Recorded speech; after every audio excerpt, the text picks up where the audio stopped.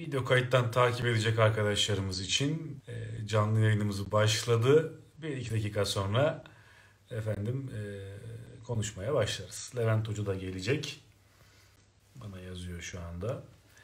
E, hepiniz hoş geliyorsunuz arkadaşlar. Ramazan ayının e, birinci gününü e, kapatıyoruz.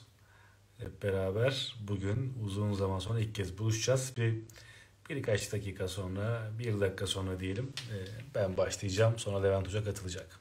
Evet. İlk toplanma gerçekleştiğine göre yavaş yavaş başlayalım değerli arkadaşlar.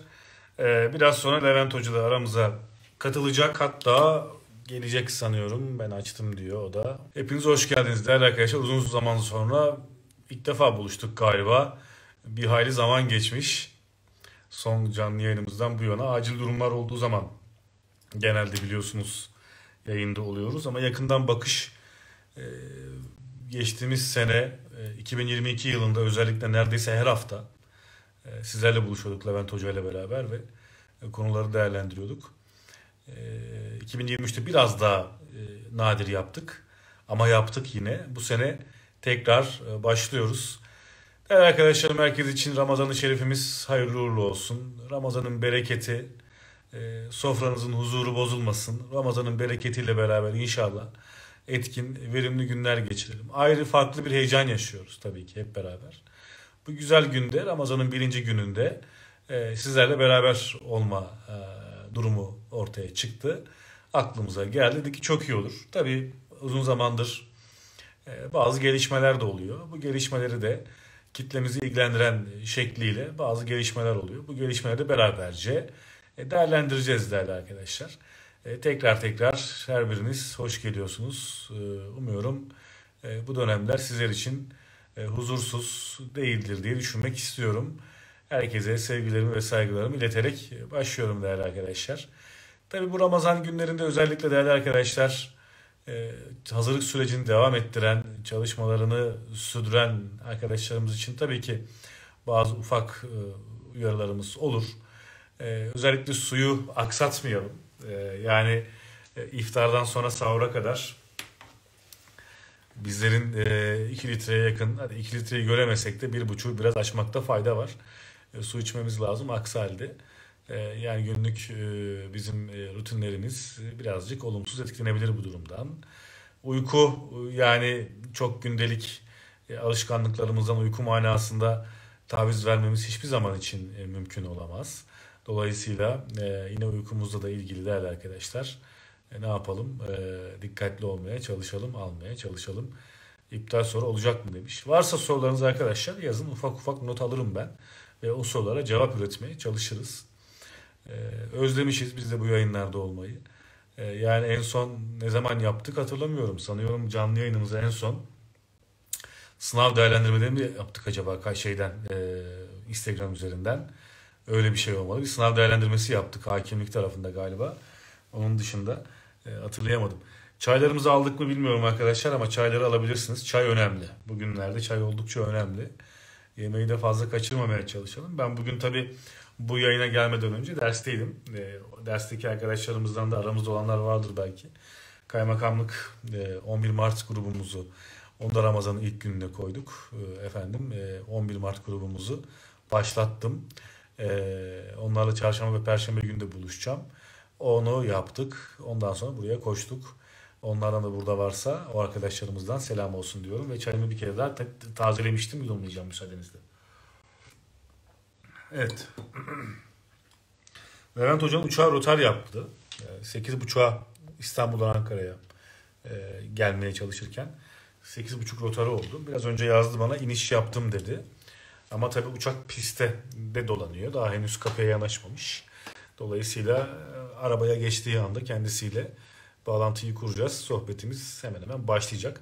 Bu yayın hem hakimlik için hem kaymakamlık için değerli arkadaşlar aslında. Yani biz biraz daha kitlemiz e, hukukçu bir kitleyle çalışıyoruz. Efendim e, siyasalcı bir kitleyle çalışıyoruz. İdari bilimci bir kitleyle çalışıyoruz. Dolayısıyla e, onların e, tamamını ilgilendiren genel bir sohbet yapıyoruz aslında. Herkes için e, çıkarılacak derslerin olduğu yayınlar yapmaya çalışıyoruz. Bir arkadaşımız kitaplar ne zaman gelecek demiş. Kaymakamlık cephesi bu hafta çarşamba günü bizden çıkıyor. Hakim cephesi de inşallah gelecek hafta çarşamba günü bizden çıkıyor. Ondan sonrası sizde değerli arkadaşlar. O bahsede e, burada bir son vermiş olayım bu soruya da cevap vererek. Evet. Değerli arkadaşlar tabii şu e, özellikle kaymakamlık cephesinde sorularınız olacaktır. E, yazabilirsiniz şu anda. E, bir soru cevap niteliğine de gidebiliriz. Yakın eğitim kaymakamlık hazırlığını 2023 yılında 25 Ocak günü itibariyle başlattı. Ve bu kapsamda bayağı hızlı gidiyoruz yani. Tamamlamış olduğumuz önemli dersler söz konusu. Hatta iktisat gibi bir süreci birçok grubumuzda kaymakamlık cephesinde Mart ayı içerisinde tamamlayacağız. Bu önemli bir gelişme. İktisadı tamamladıktan sonra zaten artık gaza basmak e, icap ediyor. İktisat çünkü bittiği zaman daha hızlı ilerleyebiliyorsunuz. Daha ne diyelim kompakt ilerleyebiliyorsunuz. Dolayısıyla e, rahat gidiyor diye düşünüyorum. Bilmiyorum bir arkadaşım bir şey yazmış. Onu niye yazdı bilmiyorum ama e, sanıyorum kitap konusuyla ilgili olabilir.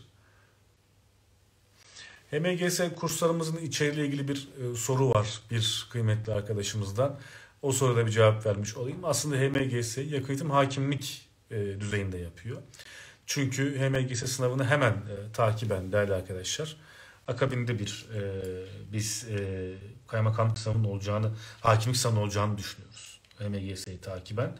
E, dolayısıyla yani e, bu açıdan baktığım zaman konuya değerli arkadaşlar açıkçası e, yani bizim hakimliği hazırlamamız lazım. HMGS sınavının, HMGS'nin diyelim, HMGS sınavı demeyelim. HMGS'nin hukuk mesleklerine giriş sınavının değerli arkadaşlar. E, geldiği nokta itibariyle açıkçası zorluk düzeyinin yüksek olabileceği, hakimlik sınavına yer yer yakın soruların olabileceğini, ciddi bir sınav olacağı yönünde bazı e, görüşler mevcut. Dolayısıyla bu görüşleri ciddiye almak zorundayız ve yüzeysel, tanımsal, bir takım kavramsal sorularla karşı karşıya kalacağımız gibi bir görüntüyle efendim e, karşı karşıya olacağımı düşünmüyorum. Düşünmüyoruz. Dolayısıyla biraz olayı değerli arkadaşlar ciddiye almak zorundayız. Hadiseye bu açıdan baktığımız zaman hakimlik düzeyinde hazırlık yapmak gayet iyi bir e, hadise olacak. Doğru bir tavır olacak. Onu belirtmek isterim. Dolayısıyla HMGS hakimlik gibi hazırlanacak. Hem HMGS'yi garanti altına alacağız.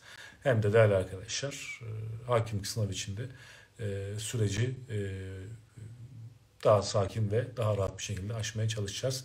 Dördüncü sınıfı yeni tamamlayan arkadaşlarımız için bir yanılı soruları okuyorum. Zaman zaman yavaşlıyorum. O yüzden e, e, hakimlik şey, ne diyelim e, e, 4. sınıfı yeni tam, tamamlayan arkadaşlarımızın sınav kazanma ihtimalleri değerli arkadaşlar oldukça e, ihtimaller yükseliyor. Çünkü e, sorumlulukların zayıf olduğu, maddi kaygıların nispeten düşük olduğu bir e, yıl oluyor. 20'li yaşların başı. Dolayısıyla arkadaşlar gelinen nokta itibariyle bu yılların kıymetini bilelim ve mezun olur olmaz bu tip sınavları hedefleyerek önümüze bakalım diyenlerdiniz. Kaymakamlık sınavına bir geçiş yapalım o zaman. İsterseniz kaymakamlık için değerli arkadaşlar KPSS şartı gelir mi gelmez mi şeklinde sorular oluyor. E, bunu e, bu sene boyunca geçen senedeki geliş son geçen sene sınav 2023 e, kaymakamlık sınavındaki o gelişmeden sonra sürekli sordular ve halen devam ediyor ama Bununla ilgili bir noktayı koyduğumu düşünüyordum ben en azından kendi adıma. Yani bir takım e, paylaşımlar yaptık. Hatta e, uzun uzun video kayıtlar e, paylaştık KPSS şartıyla ilgili. Yani ortaya çıkan sessizlik bir yerde değerli arkadaşlar KPSS ihtimalini bugün değil neredeyse Aralık ayı itibariyle neredeyse sona erdirmişti. E, bu yöndeki tavrımızla ilgili herhangi bir değerli arkadaşlar e, şey yok. E, değişkenlik yok. KPSS ile ilgili bir beklenti içerisinde değiliz. Zaten en baştan beri de KPSS'nin açıkçası çok kaymakamlık sınavını karşılayabileceğini düşünmüyorduk. Kaymakamlık sınavının münasır oluşu açıkçası daha özel, daha ciddi kılıyor süreci ve ilçeyi teslim edeceğiniz insanların efendim ölçüleceği sınavın da e, KPSS e, boyutunda olması. KPSS bu tabii ki düşük bir boyut değil ama arkadaşlar e, biraz daha kaymakamlık gibi her ne kadar e, alan sayısı nispeten kompakt gibi dursa da yine de değerli arkadaşlar e, ciddiyetini üst düzeyde koruyabilen bir sınav. Sanıyorum Levent Hoca geldik. Değerli hocam hoş geldin. Kıymetli dostum selamlar diliyorum herkese. İyi akşamlar. Hocam e, eski bir Filistin başbakanı mı diyeyim Yasser Arafat vardı. Onun böyle mum ışığında toplantıları meşhurdur. 2000'lerin başında bilir misin? Yasir Arafat tabii sen daha iyi tanırsın. Uluslararası ilişkiler devletler özel hukukçusu olarak yani daha çok e, televizyonlarda boy boy sürekli çıkıp bu konularda konuşuyorsun. Bir fırsat kaçtı bence dünya adına. Yasir, öyle, rahmetli öyle. Yasir Arafat çok emek verdi ama ne kadar sonuç aldı bilinmez. Ama gel gelelim efendim. E, hocam bugün onu anımsattın bana. Böyle bir mum ışığında sanki e, canlı yayına katılmışın gibi oldu. Esenboğa'dasın ne mutlu galiba bana. Keşke onlar gibi öyle güzel hatıralar bırakabiliyor olsak.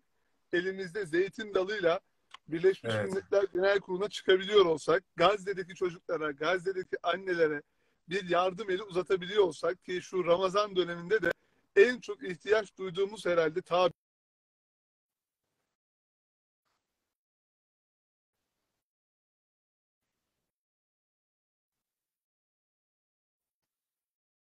her birimizin istediği temel arzu Ramazan-ı Şerifimize hayrola bu vesileyle. Eyvallah hocam. Hoş geldin tekrar.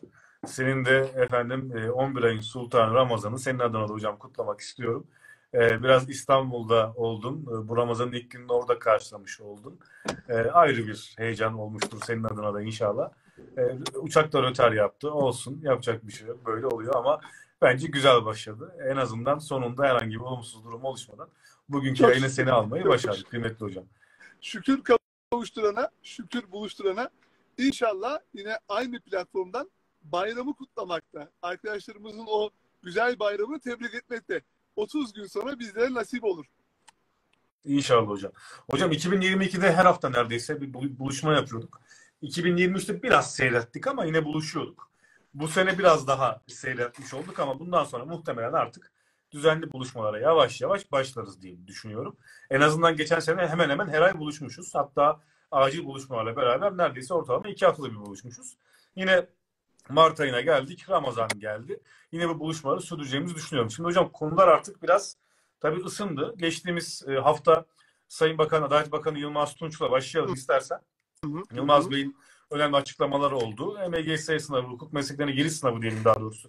HMGS sınavı deyip deyip duruyorum. Yanlış tarif etmeyelim. HMGS'deki belirsizlikler yavaş yavaş sona ermeye başlıyor. Ekim ayında ilk kez uygulanacağına dair bir ifadeyi gördük. Yılda iki kez uygulanacağına dair ifadeyi gördük. Hukuk fakültesinden yeni mezun olmakta olan hemen hemen işte 2020 girişli arkadaşlarımız için hocam artık ortalık ısınıyor. Hem LGS sınavının ciddi bir sınav olacağı yönünde bazı görüşler mevcut. Dolayısıyla hem LGS'e bir başlangıç yapalım. Senin görüşlerini merak ediyorum. Sen ne diyorsun? artık bu sınavın olacak, olmayacak vesaire gibi tartışmaların tamamlanması itibariyle Sayın Adalet Bakanımıza bir defa teşekkür ederiz. Çünkü evet. Hukuk fakültesinde son sınıfta okuyan dostlarımız hakikaten bir tarafta mezuniyet telaşıyla yan yanayken, iç içeyken diğer tarafta ise acaba soruları akıllarını kurcalıyordu. Bu saatten sonra sınavın takvimi belli oldu. Ve bizim tam da öngördüğümüz gibi yani Eylül sonu, Ekim başında bu sınav olur ki Aralık ayında yapılacak hakimlik sınavı için aşağı yukarı bir, bir buçuk aylık bir zaman dilimi arkadaşlarımıza kalsın ve konsantrasyonlarını HMGS'den yavaş yavaş hakimlik sınavına doğru yöneltebilsinler arzusundaydık. Sayın Bakanımız epey de bir süre kala bu açıklamayı yaparak hepimizin içini ferahlattı. Da aslında zihnini rahatlatmış oldu ve yılda bundan sonra iki defa yapılacağına dair vurgu da çok önemliydi. 2024 tek sınav, 2025'ten itibaren çift sınav. Bu ne anlama geliyor? 2024'te Ekim ayında yapılacak sınav çok da kolay bir sınav olmayacak. Neden? Eğer 2025'e iki sınav yapacağız şeklinde bir yaklaşım ortaya konuluyorsa 2024'te çok muhtemel barajı geçemeyecek onlarca, yüzlerce, ben hatta tahminimi söyleyeyim binlerce arkadaş olacak. Böylece onların diplomasının da mana bulabilmesi için hukukçu tabirinin yanına stajyer avukat kabiliyetinin eklenebilmesi, hakimlik, savcılık sınavlarına daha rahat girebilmeleri için bu sınavlar iki defa düzenlenecek. Ben tahminim bir kere daha söyleyeyim. Bu sınavda yüzde 60-65 civarında dostumun başarılı olabileceği bir zorluk öngörülüyor diye düşünüyorum. Bu şu anlama geliyor. Hakimlik sınavından çok daha kolay bir sınav olmayacak. Hakimlik sınavında da dikkat edersek baraj 70'tir. mülakata kalan arkadaşlarımız alınacak kişi sayısının 3 katı kadardır. O bakımdan 70, 75, 78, 79 alan dostlarım bile barajı geçmiş olmasına rağmen sınavda kontenjandan dolayı mülakata kalmaya hak kazanamadı ibaresini görüyorlar. Tam da bu sınavda aşağı yukarı katılanların yüzde 60'ının aslında 70 puanı geçtiği gerçeğini biliyoruz. Fakat maalesef sadece yüzde 15, yüzde 20 kadarı mülakata kalabiliyor. O bakımdan benim beklentim sınav formatının 10 üzerinden zorluk derecesi olarak 7, 7,5 bandında olacağı, hakimlik sınavıyla özellikle bazı alanlarda yarışacak soru kalıplarının olacağı ve öyle lay lay lom yapalım. Dördüncü sınıfta edindiğim bilgiler bu sınavı yapmaya yeter. Hukuk felsefesi, hukuk sosyolojisi, anayasa, idare, idari yargı, anayasa yargısı gibi, hukuk tarihi gibi özellikle birinci ve ikinci sınıfta alınan dersler itibaren neredeyse sınavın yarısından bahsediyorum. Medeni hukuk gibi, borçlar hukuku gibi bir ve ikide biten dersler itibariyle ben bir yüzde elli altmışlık kesinin çok net bir şekilde son sınıf ve üçüncü sınıf bilgilerinin yetmeyebileceğini o bakımdan minik minik Cengizem konsantrasyonun bu sınava dair önemin unutulmadan sınava da yansıtılması gerektiğine inanıyorum. Arkadaşlarımız Haziran'da mezuniyetlerini alsınlar inşallah. Ardından da harıl harıl çalışsınlar. Ama ben olsam, ben olsam şu anda bir hakimliğe konsantre oluyor gibi, HMGS'ye konsantre oluyor gibi çalışmaya başlardım. Bu çalışma temposu arkadaşlarımıza son senenin vize ve final sınavlarında da oldukça olumlu yansıyacaktır. Çünkü bilgi asla boşa gitmiyor. Defalarca müşahede ettik hem kendi hayatımızda hem dostlarımızın hayatında hiçbir bilgi boşa gitmiyor. Buna da bir kere daha vurgu yapmakta fayda Evet hocam. Ben de onu konuşuyordum. Tam sen girerken hakim e, HMGS eğitimlerimizde hakimlik düzeyine yakın bir eğitim. Hatta hemen hemen eşleyerek eğitim yapmaya çalışıyoruz. Çünkü bir yandan arkadaşlarımız aslında hakimlik sınavı da hazırlamakla mükellefiz. Efendim ben hakim olmak istemiyorum, avukatlık hedefleyeceğim diyenler olabiliyor. Onlara da açıkçası ben şunu söylüyorum. Ha, Levent Hoca'nın söylemiş olduğuyla paralel bir şekilde aslında burada bir taşla hocam 5-6 kuş falan vuruluyor. Öyle Gerçekten söyleyeyim. Öyle. Bu HMGS hazırlığı hem okula yardımcı olacak hem de yarın avukatlık mesleğine öyle veya böyle hakimlik hayali olsa bile bir şekilde stajını yapıp adım atacaksın. Belki birkaç yıl sonra mesleğe adım atma durumu da gelişebilir. Ama senin avukatlık mesleğiyle ilgili önemli bir deneyimin yani bir sürü usul hukuku dersi değil mi hocam? İdeal yargılama olsun, medeni usul hukuku olsun, icra iflası olsun. Bütün bunlarla ilgili müthiş bir bilgi tabanı, pratiğin bilgisini öğrenmiş oluyorsun. Yani ben bunu çok aldım. Yani hocam ben aslında aynı zamanda hakimlik tarafında edinmiş olduğum bilgi deneyimini çok kullandım avukatlık tarafında. Tabii. Çok gözüm açılır diyen de gördüm. Dolayısıyla bu hakimlik sınavının hazırlığın bir hukukçu tarafından yürütülmesi gerekiyor. Hiç hakim olma kararında olmasa bile diye düşünüyorum ben. O boyutta var. Bir yandan HMGS'de vergi hukuku var hocam malum. Vergi hukuku olmasından mütevelli açıkçası ideal hakim sınavı da hedeflenebilir. Yani böyle bir gerçek de var diye düşünüyorum ben. Doğru. E bir yandan da HMGS sınavı yani takiben Ekim ayında olsa e, teamülen Aralık ayında hakimlik sınavı olduğunu düşünsek e, bu açıdan baktığım zaman da birkaç ay sonra hakim sınavı olacak. Yani senin Ekim ayına kadar aşağı yukarı hakim sınavına hazır olman gerekiyor. Bugünden o yüzden başlaman gerekiyor diye düşünüyorum. E, okula destek olacak. İşte yarına yatırım olacak. Hakimliğe yatırım olacak. Bütün bunlara baktığım zaman kıymetli hocam açıkçası oldukça e, makul bir süreç olarak e, değerlendiriyoruz. Bu dönemden hazırlık sürecini. E, hocam ben biraz şey tarafında da senin görüşünü merak ediyorum. Kaymakamlığa bir ge- geçiş yapalım. Böyle biraz bir oraya bir buraya. Otoparktan şu an çıkış yaptığını gözlemliyorum bu arada. E, en güzel şey Esenboğa'da arabayı park edip efendim geçmek bayağı rahat pratik oluyor. Şimdi e, hocam bu Anayasa Mahkemesi'nin seri iptalleri oldu biliyorsun. Evet. Son e, günlerde. Bunlardan bir tanesi de bizim kitlemizi ilgilendirdi ki kaymakamlık sınavının başvuru koşullarını e, düzenleyen efendim e, bu durumun bir kararnameyle olmasının e, teknik e, problemi. Bunun yine kanunla düzenlenmesi gerektiğiyle ilgili Anayasa Mahkemesi'nin Doğru. bir durum oldu ve iptal gerçekleşti. 9 ay sonra yürürlüğe girecekti. 1 Mart itibariyle hani e, bu değişikliğin yapılması gerekiyordu ki kaymakamlık sana başvurulabilsin. 1 Mart'ı geçtik ama değişiklik ortaya çıkmadı. bir kanun düzenlemesi ortaya çıkmadı. Mutlaka taslak çalışmaları devam ediyor olmalı. Hani mecliste danışmanlık yapmış birisi olarak. Yıllardır anayasa hukuku düz, e, süreçlerinde idari hukuku, efendim kamu hukuku özelinde arkadaşlarımıza rehberlik eden birisi olarak. Birçok bürokratımızla beraber efendim e, bir takım konularda istişarelerde bulunan birisi olarak e, bu süreçle ilgili senin bütün görüşlerini merak ediyorum. Bu iş ne zaman sonuçlanır hocam? Tabii ki başvuru alınması için bir şekilde olacak ama ne kadar acele edecektir İçişleri Bakanlığı bürokrasisi ve e, bu anlamda meclis ne zaman hareket alacaktır? Cengizhan bir defa şu gerçeği vurgulayalım. Biz en başından beri kazanılmış haklara saygı gösterilmesi gerektiği ve hem hukuk sistematiğimizde hem de hak ve hürriyet bağlamında insanların artık yoğun bir şekilde emek verdiği bir alandan geriye doğru gidişin makul olmadığını, olmaması gerektiğini vurguluyoruz ve bunu vurgulamaya devam ettik. Tabii bizim bu platformun kaymakamlık bağlamı çok gerçekçi bir önemi var.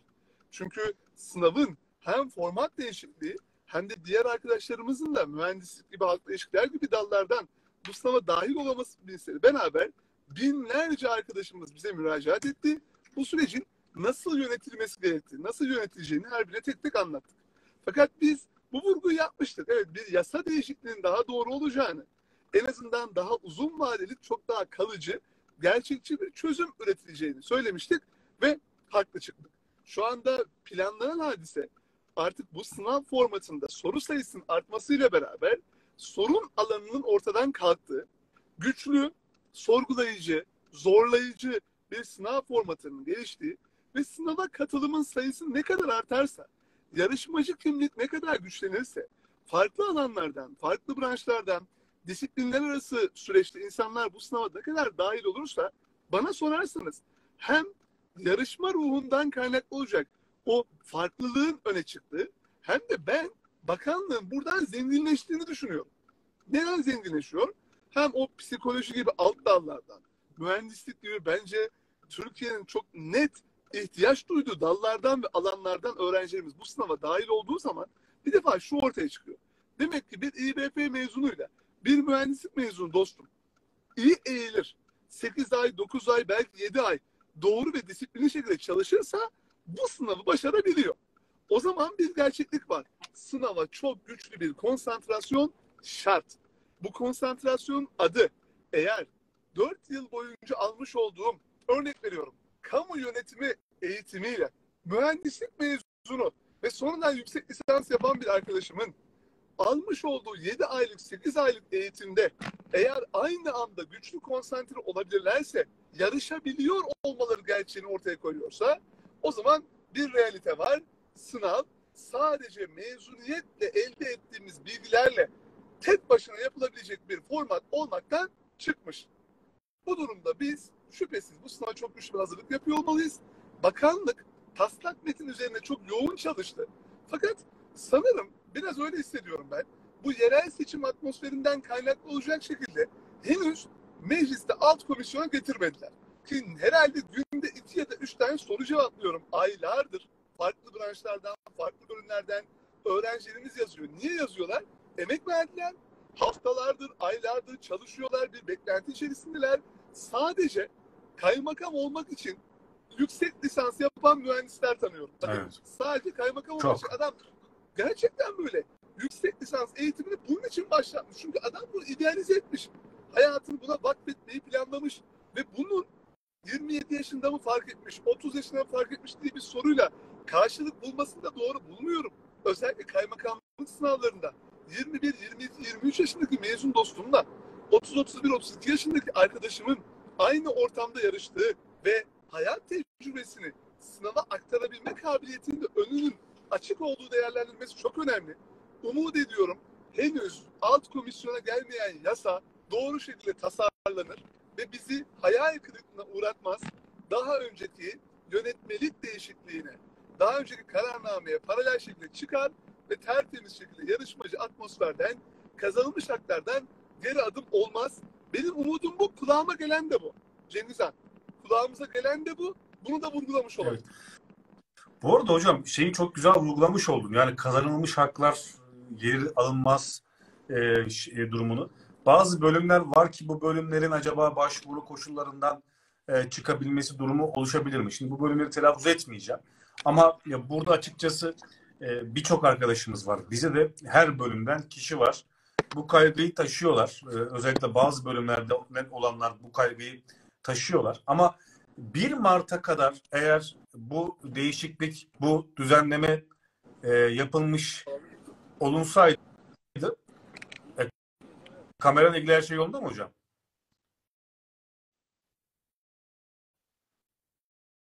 Levent hocam duyuyor musun? Cengizhan dostum duyuyorum. Hayatımda ilk defa bir alkol muayenesine giriyorum şu anda. Ha, okey tamam. o zaman ben e, devam edeyim hocam. Sen onu geçir. Şu anda muayeneden başarıyla çıktık. Hayırlı mesailer. Değerli arkadaşlar şimdi şey tarafında açıkçası 1 Mart'a kadar bu düzenlemenin, bu değişikliğin e, yapıldığını düşünseydik aslında belki de e, aslında belki de e, ne diyelim bazı bölümleri sistemin dışına çıkarmak üzere bir hamlenin mantıklı olabileceğini analiz edebilirdik. Ama 1 Mart'ın dışına çıktıysa, taştıysa bu ve birçok insan eski sisteme göre hazırlanmaya devam ediyor. Yani o yüzden e, geçen seneki hakların korunacağını düşünmek doğru bir eğilim değil midir hocam? Öyle olmalı. Şimdi düşünsene arkadaşlarımız hazırlıklarını yaptılar. 1 Mart tarihi geçti. Evet. E şimdi bundan sonra eğer biz bir geri adım atarsak nasıl açıklayacağız? Yüzlerce arkadaşımıza, binlerce arkadaşımıza ne diyecek bakanlık? Arkadaşlar kusura bakmayın. Biz bu değişikliği öngöremedik. Bundan kaynaklı olarak Anayasa Mahkemesi kararını doğru okuyamadık. Yani idare edin diyemezler. Biraz ayıp olur diye düşünüyorum. Ve hukuk devleti içerisinde haklara, özellikle kazanım elde ettiğimiz haklara eğer geri vitesle karşılık verirsek yarın bir gün başka noktalarda da hesap veremez hale gelebiliriz. Umut ediyorum ama şunu biliyorum bu arada. Bakanlık kazanılmış alanla ilgili genişletici bir düzenleme yapıyor. Yani bununla ilgili en ufak bir kaygım yok. Umarım yol kazası olmaz. Bu arada Ramazan'ın evet. ilk gününde alkol muayenesinde anlayamadım açıkçası. Baya yüzlerce arabayı durdurmuşlar Ankara girişinde. Hoşuma da gitti. Yani ne yalan söyleyeyim hoşuma da gitti. Bu asayiş meselesi gerçekten Türkiye'nin temel sorunlarından bir tanesi. Ehliyet var mı, ruhsat var mı, alkol var mı yok mu? Bakmak lazım ya. E, ilk defa giriyorum ama hoşuma gitti açıkçası. Eyvallah hocam. Şimdi tabii e, arkadaşlarımızın hocam soruları oluyor bazı. Şimdi burada özellikle her zamanki gibi çok bu konularda detaylı bir e, yorum e, yapmıyoruz ama yine de e, sınavlar ne zaman olur şeklinde e, şeyler var. Hakimlik sınavı ne zaman olur? Kaymakamlık sınavı ne zaman olur? HMGS ne zaman? Aşağı yukarı Yılmaz Bey'in de açıklama yaptığı üzere Sayın Bakanım yani e, Ekim ayını işaret etti HMGS. Teamülen artık yıllardır oturmuş bir sistem var. HMGS'den kaynaklı olarak bir değişiklik olur mu? Şu anda okuyamıyorum ama çok da ben şahsen beklemiyorum. Hocam bunu sana sormak istiyorum. Hakimlik cephesinde aralık teamüllerinde bir bozulma olur mu? Olmaz, Olmaz. mı? Ee, ben de Olmaz. çok beklemiyorum. Evet. Olmaz evet. ve olmasın. Ee, dolayısıyla kaymakamlık cephesi yine e, Ekim, Kasım, Aralık çoğunluklu oldu. Çok acil bir kadro ihtiyacı var ise o zaman tabii ki olağan dışı olarak yine geçen işte 2021 yılında 10 Temmuz sınavı olmuştu ama şu anda olağan içi görünüyor her şey yine yıl sonunu işaret edecek. Zaten bununla ilgili de yine güzel bir gelişme olarak hani performans programı her sene başında ilk çeyreğinde ortaya çıkardı. Yine çıktı. 100 ee, kişilik bir alım hedefini ortaya İçişleri Bakanlığı zaten koydu. Ee, bu manada da bir problem e, görmüyoruz. Dolayısıyla e, sınav zamanlarıyla ilgili hocam senin yorumunu da merak ediyorum. Çok net. Hani bir tereddütsüz söylüyorum bunu hakimlik sınavı Aralık ayında olacak. Hatta belki bizi daha önce izleyen, tanıyan, takip eden arkadaşlarımız varsa ben geçen sene sınavı günüyle Ocak ya da Şubat ayından tutturan bir kişi olarak biz burada çok uzun yıllardan sonra bir teamülün değişmeyeceği gerektiğine inanıyorum. Aralık ayının üçüncü ya da son haftasının cumartesi ve pazar gününe arkadaşlarımız bakarsa çok rahat bir şekilde sınavın hangi periyotta olacağını görürler. e, Eylül sonu Ekim başı HMGS diye öngörmüştük. 15 gün sonra sınav sonuçları açıklanır. Böylece değerli dostlarım için hemen bakalım. 2 aylık bir hakimliğe adaptasyon süreci doğar. 2 ay bence iyi bir süre. Neden? Zaten hakimliğe hazırlanır gibi. HMGS'ye hazırlanacakları için aradaki farkı bence sadece çok güçlü şekilde soru çözerek, konu tekrarı yaparak, yanıldıkları alanlar üzerinden bir defa daha geçerek profesyonel bir destek alarak kapatabilirler ve kapatacaklar. Artık bu sınavlar eskisi gibi mezun olayım, sınava gireyim, orada kazanım elde edeyim. Açık söylüyorum Cengiz Han bu noktadan geçti. Sınava giren kişi sayısı 21 bin, 22 bin, 23 bin bandında oluyor. Epey bir süredir. Ve bu arkadaşlarımızın neredeyse 10 bin tanesi, ya bakın bu sayı şaka değil, 10 bin tanesi çeşitli platformlardan bu sınavlara hazırlanıyorlar. E ne oluyor? Bu sınavı kazanan kişilerin de yüzde seksenine yakını bu hazırlığı yapan arkadaşlar arasından çıkıyor. Şimdi bu e, rakamsal realiteyi vurgulamadan konuşacaklarımın bir mana ifade etmeyeceğini düşündüğüm için bunu söylüyorum. Aralık ayında hakimlik sınavını yaparız. Kısmet olursa da Eylül, Ekim başı arasında yine biz kaymakamlık sınavını yaparız diye düşünüyorum. Hı hı. Ee, bir sürprizin de olacağı kanaatinde değilim. Zaten ülkede bir seçim atmosferi var. KPSS ile ilintili olarak ilan artık netlik kazanan tarihler belli oldu. Bu saatten sonra hiçbir sınavın doğrudan KPSS'ye bağlanmasının doğru olmadığını düşünüyorum. KPSS A'ya hazırlık yapan arkadaşlar açısından da şunu söyleyeyim. Hiç boş bırakmasınlar. KPSS'ye yapmış oldukları hazırlık asla boşa gitmeyecektir. Arada kaymakamlıkla ilgili alanı güçlendirirlerse, kaymakamlıkla ilgili fark arz eden 40-45 soruluk alana eğilirlerse muhakkak suretle her iki sınavı da üstlenebileceklerini, beraber yürütebileceklerini düşünüyorum. Ama kaymakamlık artık İçişleri Bakanlığı son 8-9 yılda bu işi çok kurumsal bir noktaya taşımış vaziyette. Ben buradan taviz verilmeyeceğini düşünüyorum. Dostlarımız bu sınavdan evet. muvaffak oldular ve mülakatlarda öyle kısa sürmüyor artık.